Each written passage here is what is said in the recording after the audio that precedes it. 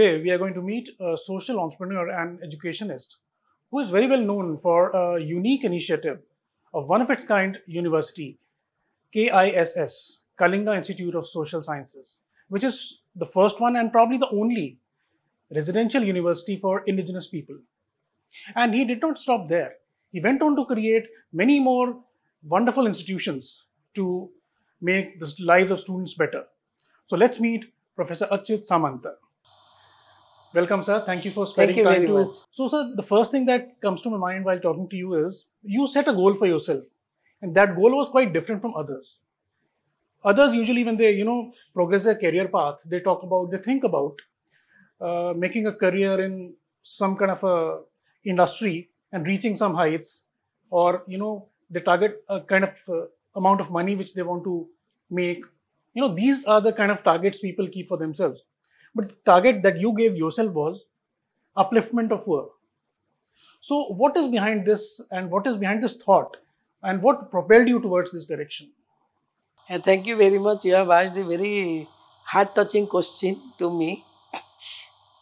You see, whenever anybody does anything, definitely he or she has that much of background or brought up.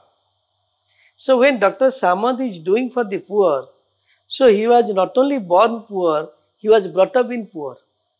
So this is the passion I had from my childhood because of my own experience towards the poor.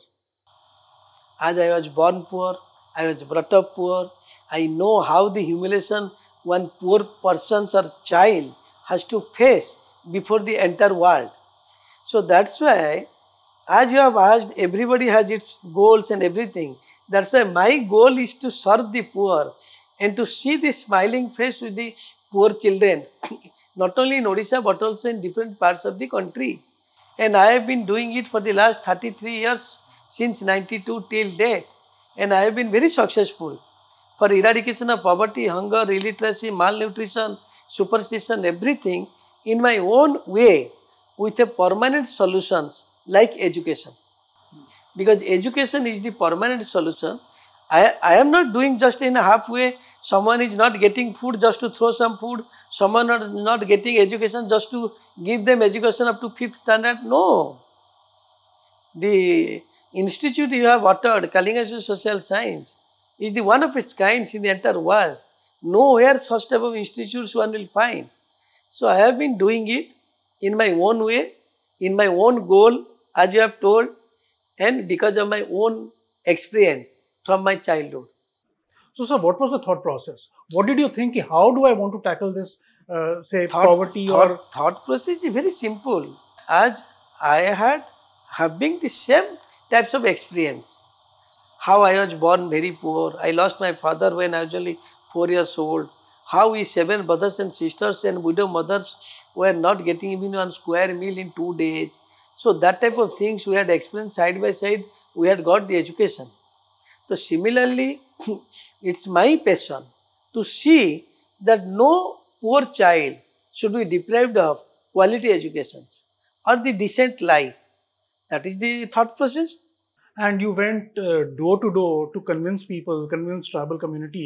That was initially for first 10 years it was very difficult because you know I started 92 93 when nobody has thought of bringing tribals or the marginalized children to the mainstream through quality education.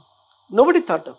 In those days you know the name of Odisha also was not known so popularly outside Odisha etc.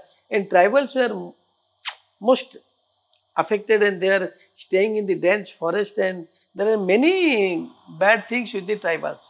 So that's why because of superstition, initially they were thinking that my child will be sold, eyes of my child will be sold, or kidney of my child will be sold. So they are all in their own mind, they should be. Because at that time there was no uh, organizations like this bringing from the dense forest and putting them in a host- boarding schools and giving them quality education, a decent life. It was daydream for everybody. That's why initially for first 10 years, it was very difficult to convince the parents of the tribal children. But as we had a strong passion, that's why we, could succeed it. Now it is the most successful model in the entire world. Right. So uh, this is actually a yeah, as you said, very unique model. So when you thought about this, so were you convinced that it is going to work practical level at the you know ground level? How did you convince yourself that this is going to work? Because nobody has ever tried that before. Whatever I have done till date, it is the God's blessings, God's creation. I am just instrument to implement the things. But from the beginning, I had confidence on myself, on my work, that definitely I will be successful. That's why I started when I was only 25 years old. I started this venture. And now the things were materialized because of the um, God's blessings and also good wishes from many people associated with my work. You had a very humble beginning with, I think, 5,000 rupees and two room uh, university kind of a setup. From there, you've grown to this level. So, what was the journey like? How did you manage to, you know, take that small initial step to a larger giant, giant leap? You have told the right things. It was quite horrible journey, but it was possible again with the God's grace. I will be happy if you can show the some parts of our campus. We have created 30 campus spreading over 36 square kilometer area. And the most beautiful campus full of greenery, ambience, everything so beautiful. It is just like one will feel he or she is in Europe, America. So that type of campus has been constructed from the 5000 rupees we have started in two rented house, both KIIT and KISS. So we have given our entire life for this cause. And slowly, slowly it has come up. Now it is appreciated by one and all in the entire globe, by all policymakers. Everybody appreciates this magnitude of this universities and also the quality of this university. It is not only infrastructure, all qualities, all qualities. So was there any kind of a support available from around the system around you or you were a lone warrior? How did this happen? I am lone warrior, no doubt, but there, naturally everybody extend his supporting hand whenever I need it. But there is no financial support from anybody else. We have tried a level based for finance to take bank loans and other things, but um, people have extended their support. Otherwise, how all these things would have been possible? So, tell us some kind of a support system that you had in terms of friends or community. So, how, how this help has uh, reached the KISS? When I have this strong determination to do this, so definitely slowly, slowly, whenever I need any support, anything else, support means does not mean someone will come voluntarily and will will help me to execute these things. That is not the support. I thought, I executed, I did it. Whenever the support, like suppose some approval is needed, so definitely we, sh we should fulfill the norms and we will get the approval. Some financial hands, the banks came forward to give the financial help some lands are required. The government and private came forward and got the money and gave the lands. So this is this type of support. Support does not mean somebody has given any support without any reason or any undue support. That things has not happened in this case. We have put our heart and soul and we have given our everything for creation of such a beautiful organizations. Uh, the manner in which any education should be imparted. You've been a, an innovator in that sense. So you believe in holistic uh, development of a child, you know, and skill development, and you know all those areas uh, that one should impart while the education is on. Currently, we've seen NEP 2020. So how do you think that uh, document is like very close to your kind of a thinking also? So how do you take that document as? Is it progressive? Is it going to help us? this national education policy 2020 is very nice very good definitely it will be beneficial to the staff students institute and of course definitely our country and we are very much happy both KIIT and KISS are working much ahead than the nep 2020 we have fulfilled most of the objectives of nep 2020 and rest of the objectives whatever is nep 2020 definitely that is very good for the students be it credit bank, be it any other thing. So many good things are there in NEP 2020. But if you see as per the NEP 2020, KIIT is a multifaceted university with 40,000 students from pan India and from 65 countries. And we have so many faculties and everything. And rest of the things, whatever mentioned in NEP 2020, we have implemented. NEP 2020 generally speaks one should have the huge universities cater to the needs of many thousands of students. It should be multifaceted university. So all these things we have already done it. and whatever you are told, it is the many exclusive or inclusive growth of the entire things. Like here we have taken care of skill education, sports education. So many things we are very good here. That's why we fulfill the objectives of NEP and NEP, whatever signifies with respect to benefit to the staff, students, institutes, that also we are now, now we are implementing. As you mentioned sports, that takes me to a legendary, uh, you can say, event that happened, which was perpetrated by you. You put India on the map of rugby, international map of rugby. So, what has been your uh, kind of association with sports? So, along with education, we have started promoting of sports also. And for your kind information, we have new institute and new university. Only 27 years old institute and also 20 years old universities. But within these 25 years, we have developed the entire thing so nicely. And sports, we are the, I can say, we are the best in the country. Why I am telling best in the country? Highest amount of international standard sports infrastructure created any one place in the country that is KIIT and KISS. This Olympic, we have sent our 15 students to the Paris Olympics. Till date, we have produced 24 students as Olympians and many Arjun. Vagara. And KIIT itself has got all the sports award, starting from Government of India, Khel Prochana Samman, and other awards also KIIT has got. So we are taking care of sports very nicely. All sports events are used to be held here. We hosted Khelo India University Games. We hosted Janjati Khelo Motsav. All Government of India sports event first we hosted here with all facilities. And in this way, the many students are happy that here all these things are happening for the proper growth of the students.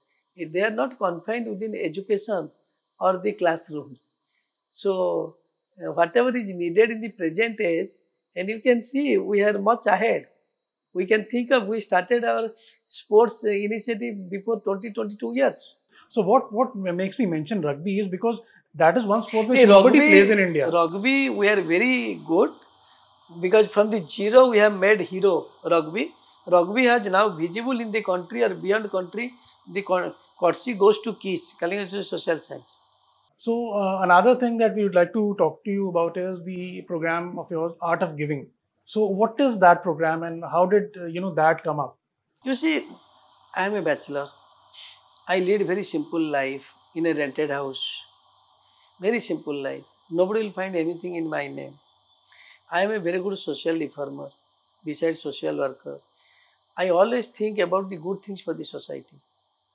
So once in 2013, I thought of art of giving the concept, that is the philosophy of life, just to spread the message of peace, happiness, harmony, friendship among the people in the art of giving does not mean just to give some wealth or money to someone.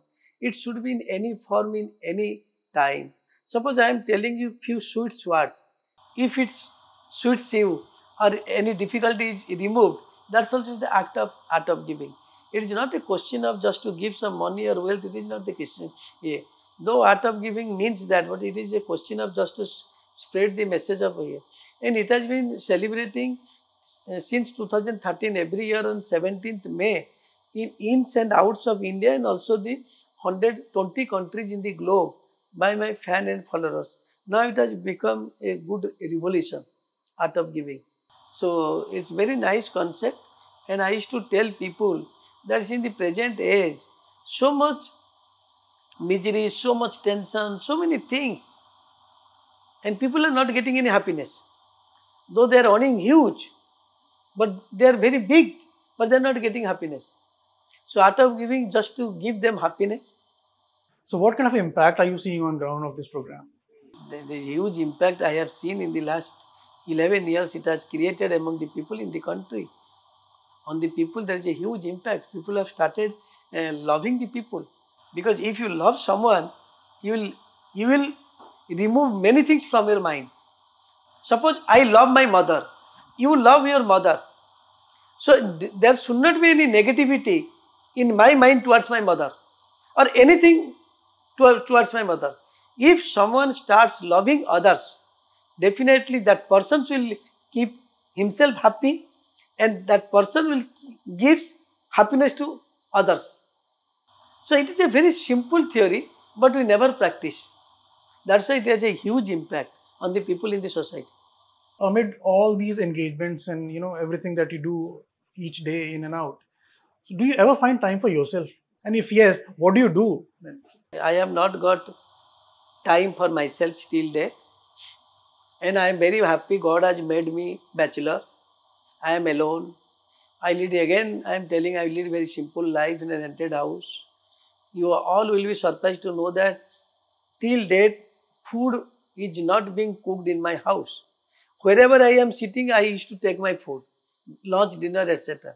So this type of simple life and I have been working 16 to 18 hours per day for the last 33 years without taking a single day break for my leisure or God has not put me on bed suffering from fever or cold even for one day.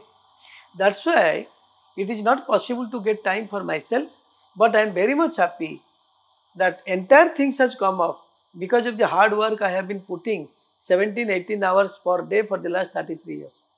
Otherwise, it is not a creation of only building, it is a creation of one empire for next generation, next generation. So, sir, from a scratch, you have come a long way. So, what is the way forward? Where do you like want to take this further? You see, I am more socially inclined. I am doing very good social work, etc. Not only Kalinga Social Science Kids Home for these thousands and thousands children, but also it has branches in many other districts of Odisha. And definitely, I will be more concentrating on my social work. And definitely, in case of KIIT, we are concentrating more on quality education, internationalization of higher education. Many, many good things we are doing every day. If you see the media, social media, today UN status, tomorrow UNB status, SUIPL status, um, Guinness World Record, all these things we have been doing throughout the year. That's why we will be adding good things in the coming days also for the country, state and also KIIT and KISS. Right, that's wonderful to hear, sir, and we wish you all the best Thank you that you succeed in all your missions and make us happy and proud both as a country and as uh, you know people.